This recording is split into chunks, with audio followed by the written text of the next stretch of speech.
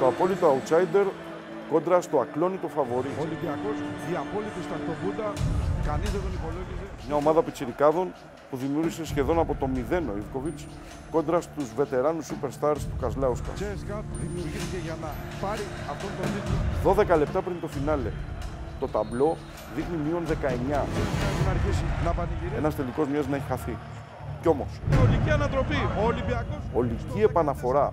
Απίστευτο καλάθι του Πρίντεζης στην εκπνοή. Πρίτεζης. Ναι! Ναι! Ναι! Νίκη απέναντι στο μεγάλο φαβορή. Δεν έχει ξαναγίνει τέτοια ανατροπή. Κι όμως, έγινε. Έγινε! Έγινε! Έγινε! Έγινε!